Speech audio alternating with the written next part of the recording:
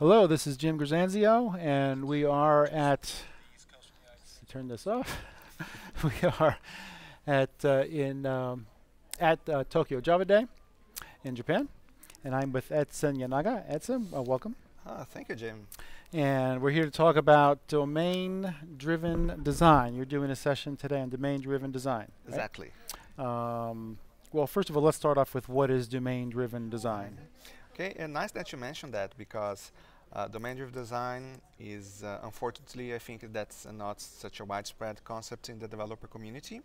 But I think the main point of domain-driven design is that you, instead of focusing first on technology, you're focusing on the domain model, which leads to better solution when you try to implement that. And you have many different aspects of domain-driven design. You have the strategic aspects, which means how do you tackle the problem to create a model. And you have the tactical patterns of domain-driven design, which means that after you have a model, how do you uh, create a good implementation of that? So there are many great speakers that talk about the strategic part, but I chose to focus on the tactical patterns. So that's what I'm going to talk about. After you have your model, what are the some of the good approaches that you can use to transform that into a very nice implementation into code, and specifically using Java EE technologies. Okay. So did you already give your session, or is it later on? No, I'm about starting 40 minutes. 40 minutes. Okay. Well, we got we just have you just here actually actually just for a few minutes. So, cool. Um, I'm I'm wondering. You know, you've been here. You know, for the morning we had the keynotes. There was a full room. There's a lot of people here. Um, I've noticed there's a lot of young people here as well. Um, your session, domain-driven design, is that something that young, so young developers, young Java developers, you know, will be interested in? Is uh, so is it more of a high-end thing, more of an advanced thing?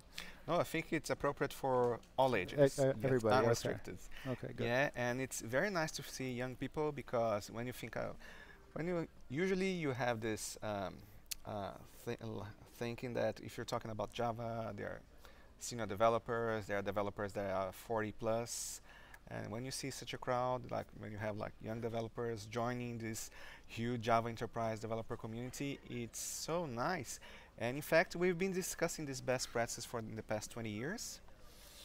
And, and uh, that's the reason that I wanted to talk about because I think that we have a whole generation of developers that missed the train when we started discussing that. And maybe you don't find many speakers talking about this subject again. I think it's very, very useful for this new generation and for the more experienced developers that uh, didn't quite have the opportunity to to learn that much. We didn't have so much books and internet Oh, mm, okay. like 10, 15 years ago about the subject. Yeah. All right. So this is just about good software development, good practices of of writing software. Yes, I yes I believe that um, how do you software is as much important as why you should be doing that, and instead of just getting some lines of code and committing to a GitHub repository, I think that our lives as developers are easier if our code is easier to maintain, easier to add functionalities, uh, easier to spot bugs and so on. And that's why I want to focus because, of course, our, our purpose is not to be crafting code, is to be helping people's with the code that we, we produce. But I think we can help more, even more people if we create better code. And that's why I, I chose this subject to, to Cool. present. Cool. Um, so what what is your impression of this event actually? Um, because you're here as a part of a dev tour, basically a, the motorcycle tour that you know Stephen you know Chin is on, and um, with like they've got three or four motorcycles right at this Mhm. point, and a couple of uh, chase cars, and there's about you know ten people involved in this tour. Um, and Stephen and Sebastian are touring the whole country of Japan basically, but you're only on a portion of it. right? Yes. Uh, So I met you in Osaka. Yes, that's a couple days ago. That yeah, I uh, I landed at uh, the Kansai airport, so I joined the tour for just three cities: Osaka, Nagoya, and now Tokyo. Uh, yeah, I, uh, I had like some uh, schedule conflicts. I w- wasn't able to to make it before, but well, I'm a Brazilian Japanese. I couldn't be more excited to be here in the land of my grandparents. How So often do you get here? It's my very first time. This is your first time? No kidding. Wow. So it's a very emotional thing for me. wow. That's and amazing. So um, So your grandparents are from Japan? yes, all of them. All of them on both sides of the Yes. family. Wow. So I'm really well. I, of course, I would be impressed, but Japan is much more than I would expect. I loved everything, of course, and since I have this this old time Japanese culture uh, embedded in my family, I well, it's not uh, it's not completely new for me, but living it here, it's yeah, as I said, it's well, a but very strong feeling. okay, but you live in a Japanese. So you grew up in Brazil Yes. within a Japanese community. Yes, the largest Japanese community outside Japan Is is, in in the south of Brazil. Like in my hometown, approximately 30% of the population population is Japanese. So we still keep the traditions from the people that left Japan a hundred years ago. Was it that long ago? So yeah, my grandparents left Japan uh, this year. It's gonna ta- make a hundred years. Wow.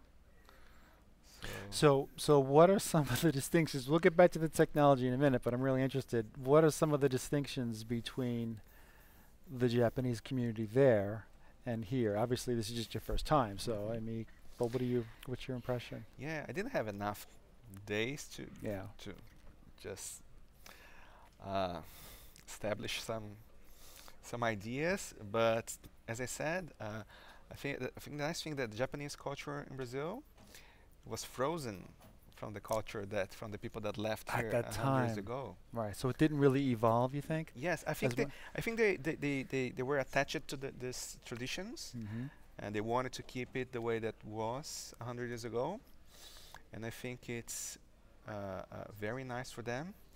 Uh, but for the very few time that I'm here in Japan, I can see that I, I still can see the spots of the culture, but I can see that it evolved. It evolved, yeah. Yes. Interesting. So And and, and actually, yeah, there was a lot of young guys here, you know, today. Mhm. So, um, I mean, Java obviously is is a, a big deal in Japan, has been since the beginning. And talking to some of the other people, um, some of the other speakers, and some of the developers, and I used to work on the Open Solaris project, so we Mhm. did a lot of joint events actually here. So I met a lot of Java developers, and um, these are high-end guys, and and um, so you know now you're mixing with them here at this event. So what's your impression of this event? I mean, it's a pretty good attendance here, but it's just for one day. Um, you, so if you can talk about maybe some of the conversations you've had with some of the developers here. Mhm. Yes, again, that's something that impressed me because I uh, didn't know much what to expect here. I imagined Japan as a very traditional, and I was again I was expecting senior people working on that. So well, not everyone's old. yeah, no, no, oh no, we're all young. Okay? I'm just I'm just glad to see people, well, 10, 15, 20 years younger yeah, yeah, exactly. Yeah. than ourselves, and uh, it's again, it everything was exciting, and this excites me so much more because uh, it's it's like having a legacy that you can see that it keeps going on, and I, I truly believe in that because uh, some years ago. I, I was very frustrated in my career, career, and I needed a purpose. Needed a purpose to do that. So I decided that I wanted to help developers worldwide to, to be better on their their professions, on how did they code. And I'm so happy to be here to be able to share this with this younger generation. So, so again, it's Yeah, very emotional for me. yeah. Well, yeah, this is fantastic because you have a, a you have a personal reason to come, but also a also a you know also a, you know, technical reason, employment reason, right? Um, so you live in the United States now. You live on the East Coast. You work at Red Hat, and Yes. Yeah, I just uh, well, I lived in my entire life in Brazil so far, but 10 months ago I moved from the south of Brazil, from the city of Maringá in the state of Paraná. It's about 700 kilometers west of São Paulo, but it's a different state. And now, again, 10 months ago I moved to Raleigh, North Carolina. wow. So you're trilingual then. I can pretend to speak in many different languages. I think the ones that I could consider myself to be fluent are Portuguese and English, but I can pretend reasonably well in, In Spanish, French. Wow.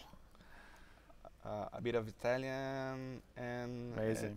and Japanese I can survive. But I, Right. ta- I was talking to a lady here at the hall.